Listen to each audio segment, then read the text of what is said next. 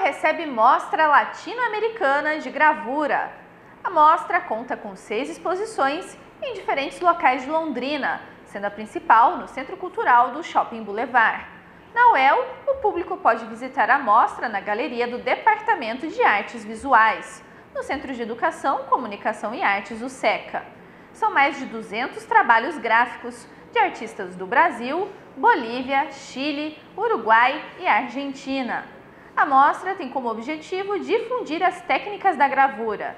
Informações sobre as atividades formativas no Facebook da Mostra Latino-Americana de Gravura. A gente não encontra muita coisa de gravura na nossa cidade, né? Mas a gente tem artistas produzindo, tem material. No ateliê do Paulo Mentem mesmo, que a gente está com esse objetivo de reativar, nós temos as pedras de lito, a prensa, então a gente trazer essas técnicas. Então a mostra, ela também vai ser financiada pelo Promic, então a gente vai fazer as ações formativas pelo Promic, então vão ter oficinas gratuitas é, para o pessoal dessa área de produção cultural e estudantes de artes, na área de gravura em metal, de estilogravura, que é na madeira, e de litogravura, que é na pedra.